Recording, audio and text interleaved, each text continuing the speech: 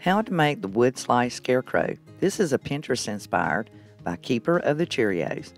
First, how to make scarecrow hat. We're going to start off repurposing some ribbon spools, some craft paper along with your scissors and your fabric of choice. An 8 by 8 inch square is what you'll need. If you start off with a larger spool, remove the bottom circle, which is about four and a half diameter, and take the craft paper or any kind of paper sack or bag, and you can build out your form. This is if you opt to use the ribbon spool, and it works much better because your form is there.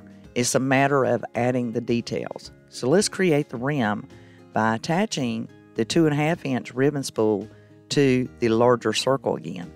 And cover the top is optional. This is not necessary, and I made this step before I realized, oh, wait a minute, I got to build up the top. Unless you plan on doing your scarecrow with some of like corn husk or raffia or something coming out the top of it.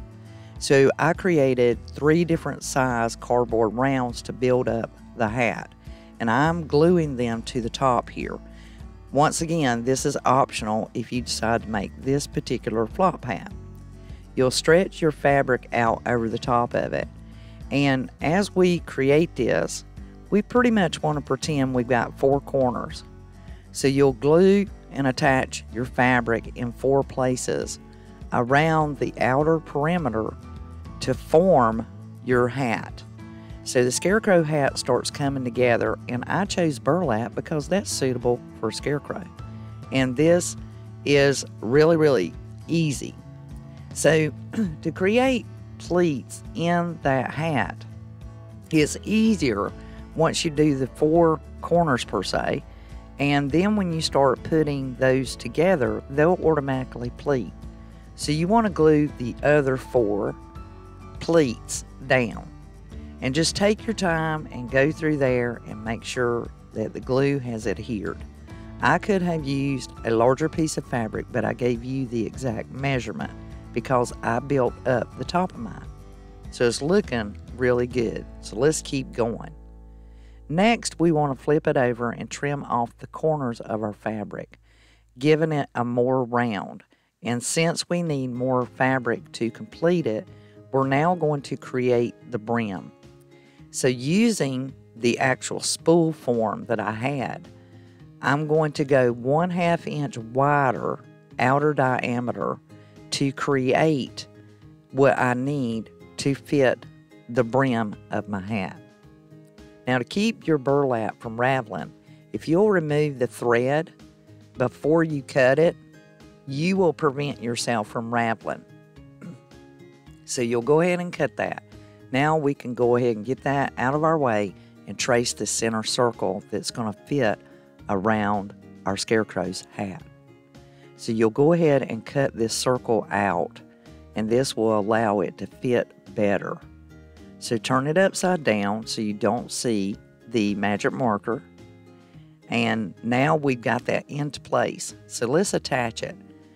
When you glue it, glue it next to the form. As you can see me pressing down with my fingers, you want to glue that as close to your round form of your ribbon spool per se in order to make sure that the brim coverage is attached.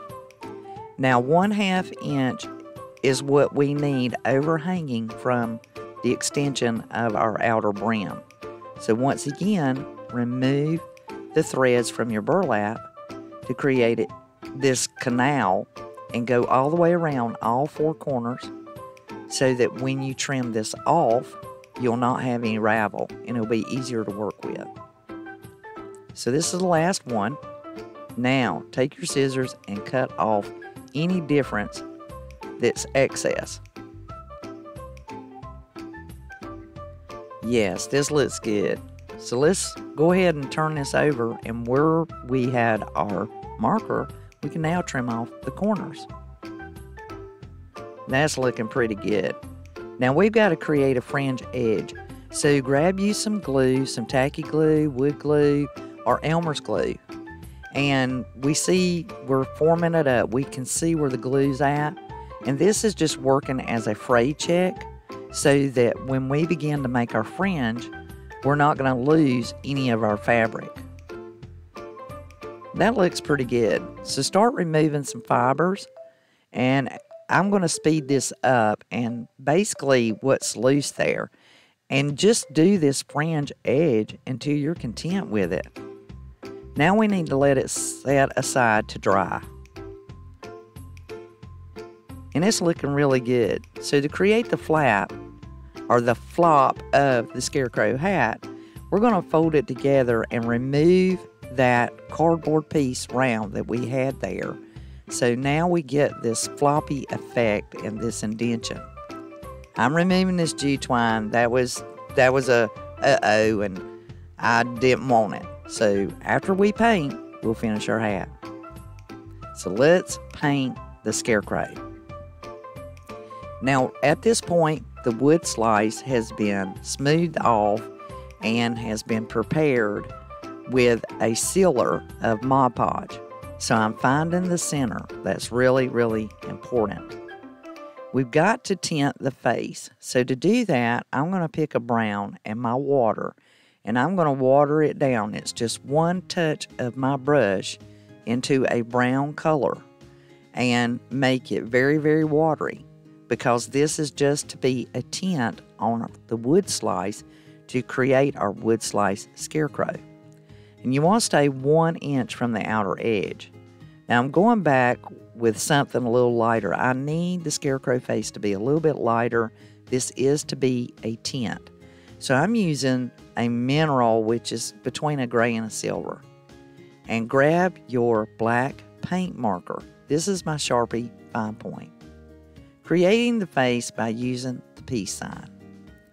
The peace sign is equally really easy to use because you got two fingers, two eyes, and the same distance between the eyes and the nose and the nose and the mouth. So once you create your eyes, you can then position your nose and the mouth much easier. Now the eyes here are kind of on a slant and it's a teardrop. It looks like a teardrop and you're turning it sideways at an angle. So I've got this drawn up really close so that you can paint along with me. So here is a freeze frame of the eyes. Next, we need to make the eyes more apparent. So once again, making a teardrop within the teardrop and coloring it in. You will do both the left and the right eye the very same way. With the wood slice, Scarecrow, you will find that when you're using your paint marker, you'll have to go over it a couple of times. And mine was still damp. I had not let it dry completely. I could feel the dampness in the wood. And therefore, the paint needed to be layered and it shows up better. So here's a freeze frame. And now let's go ahead and put some lines underneath the eyes. And this will be such as the cheeks. And don't forget those eyelashes. That's what makes it really special. So let's create the scarecrow's mouth on our wood slice. And there is no perfection. It is simply your own critique and ability. Simply just put some lines as though those are stitches to make his mouth. And where the center of his smile is, I didn't put any stitches at all. Here's a freeze frame of what we got. Now let's put a little more accent up top for his eyebrows. And as you can see, I go back two or three times to make sure that the marker, paint marker, sinks in. Now we can create our wood slice scarecrow's nose. And when you create this triangle, it can be a little more square at the top and rounded at the bottom. Use your red paint marker, or maybe you have a melon or a peach, Even an orange would be great to create the scarecrow's nose. I elected red because of my inspirational piece by Keeper of the Cheerios Scarecrow on a wood slice. And I really liked the depth of the one she done. Now take the blue. I elected to make my scarecrow's eyes blue. And you'll stay underneath the black of the teardrop eyes. Now we can put more detail to it. It's now ready to apply white paint. And in order to keep this from smearing and running, make sure that you let it dry a moment or two since the paint markers grow, they dry really fast. And then go back and put a second layer of the white. And this will really truly draw those eyes. And now we have this beautiful wood slice scarecrow face. And here is a freeze frame of the face. You can always pause this video if you need to take your time and do the details one step at a time. So let's put some stitches upon his nose for his little patch nose. And just now you can go back and trace it more so to accentuate it and detail it with black. Oh, he is handsome. I truly am in love with my wood slice scarecrow. And the wood slice scarecrow blue eyes is you could do green, you could do brown, anything to make those eyes pop, but the blue just really set him off. And as I said, go back and put a second layer of your colors so that way it really pops and stands out. And as this dries and sets in, it will have that rustic look. Now to make sure that my paint markers are dry, I used my heat gun. And always, always sign your work. You'll never regret it. And don't ever be ashamed of anything you've made or painted. Put a layer of Mod Podge on your wood slice to seal it and make sure that you include the back. And I did go around the edges as well. This will last as a timeless treasure. It's smooth, it will resist water and last forever and not change. Now let's go back to our scarecrow's hat and finish it up. There is nothing like some beautiful ribbon to trim out the brim and really truly make this a scarecrow's floppy burlap hat. I wrapped some jute twine around there and tied it, and that is looking pretty spiffy. So we have our fringed edge and we've made it a little more floppy. Cut the center of your ribbon spool out this will let it rest upon your wood slice scarecrow much better and fit better, and you can get more of a flop and style out that hat really, really good. So now it's looking pretty spiffy. We need to give it some corn husk or some raffia. I have the tiki skirt from Dollar Tree, and I'm going to make it work by gluing it on the bottom side and you'll just kind of model him and keep going back and forth until you've gotten enough on there to suit you. And as I work with my tiki skirt, I'm allowing probably a good three and a half inches over the edge, maybe three inches over the edge. And then I just glue a little more and lay it down and then cut it until I was content. And any of the longer pieces I just trimmed off but don't do too much before you style it and shape it and make sure it is exactly as full as you like and desire before you attach him.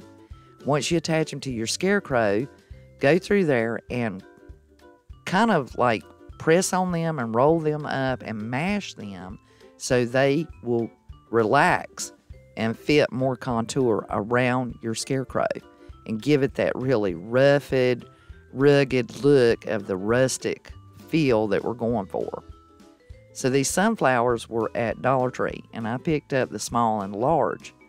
I grabbed me some of the maple leaves and the burlap green and orange, put my sunflower on there, and added a few more maple leaves for detail. The more you added to your scarecrow's hat, the more he will look very handsome. And you can make this into a girl scarecrow as well. As I said, this will be a timeless treasure.